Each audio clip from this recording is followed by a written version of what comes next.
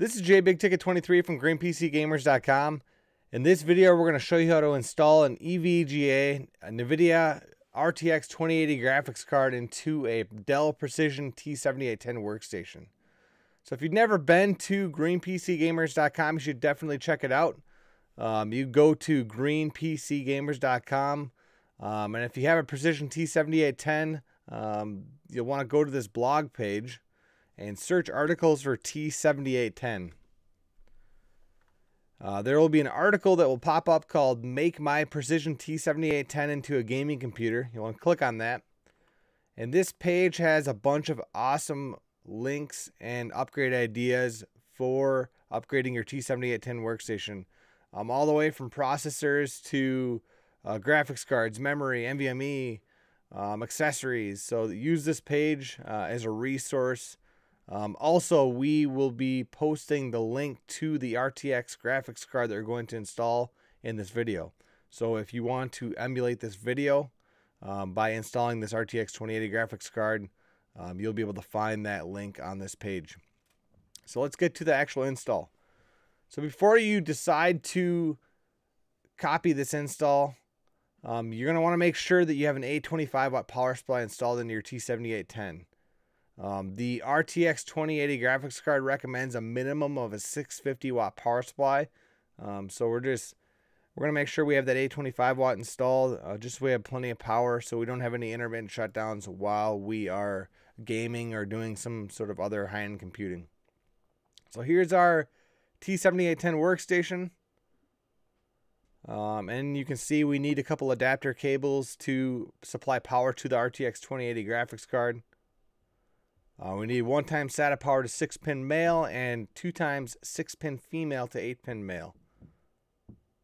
And we will post uh, links to those on greenpcgamers.com as well if you need to buy those adapter cables. All right, here's our graphics card. It is manufactured by EVGA. And it requires one 6 pin and one 8 pin power adapter. Um, we've got a bunch of awesome connections on here. It looks like three display ports, uh, HDMI, and uh, looks like a mini display port as well. All right, so put your system on its side after you've unplugged it. Remove your side panel like we just showed you. Now we're going to install the graphics card into the blue PCIe X16 slot. This card's going to eat up two PCI slots. And there is our dual 6-pin and our SATA power connection from the optical cable that we are going to steal power from. All right, so let's plug our power in, or our power adapter cables into the cables. So we're first we're going to do our 6-pin, dual 6-pin female to 8-pin, and we're going to use the two 6-pin connectors that are standard on the system if you have the 825 watt power supply. All right, so that is set up. And then we are going to steal from the optical drive slot. And this is just a SATA power to 6 pin. Now you might be thinking, oh, I can just use two 6 pin to 8 pin adapters. Uh, we've tried it. It it caused issues. Um, whether we, we were doing a 2080 or a 1080 or a 1080 Ti, it had problems. So we definitely recommend copying the power adapters that we are using. So here's our 2080. It's a pretty heavy card. We still have to remove a little bit because this was a new card on this install. All you do is line this card up and it's pretty heavy. Um, once you line it up with that blue PCI Express slot, um, it'll drop right into place like so. And then we'll put our little blue clips to lock it into place. Now all we need to do is plug our power adapters in. So we've got our SATA to 6 pin, plug that in first and then our dual 6 pin to 8 pin. And we'll go ahead and plug that in. Pretty simple. The, the toughest part about this install is actually the power adapters because the car doesn't come with these power adapters. So um, just knowing that these work is very helpful. So now um, we just need to put our side panel back on.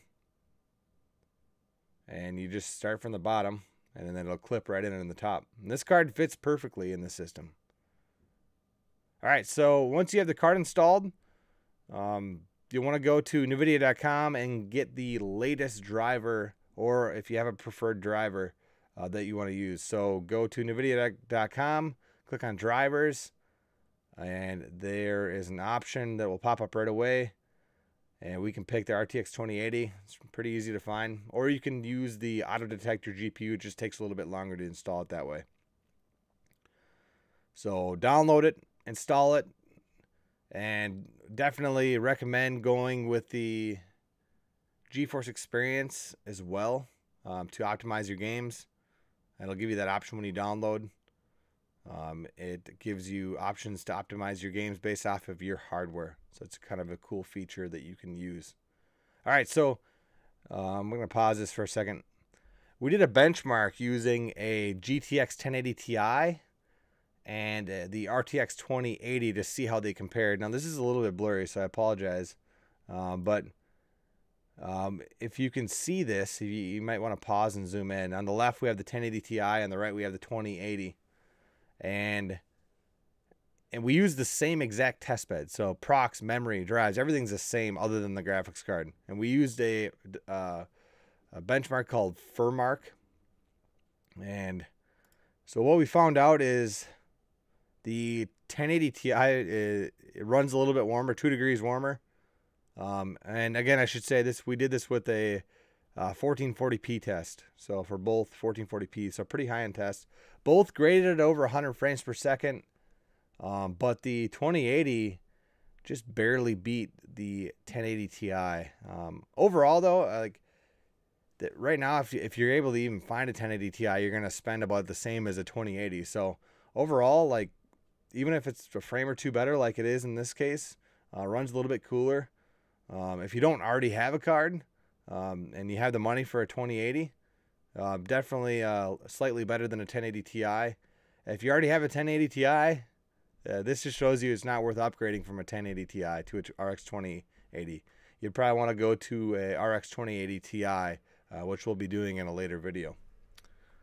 So, all in all, pretty good card. Uh, pretty easy to install if you have the adapters like we show you. Um, definitely check out greenpcgamers.com for other content. If this video was helpful to you, please consider hitting the subscribe button. Also, we do monthly giveaways on our Facebook page. All you have to do is go to greenpcgamers.com and like our Facebook page to qualify. Thank you so much for watching.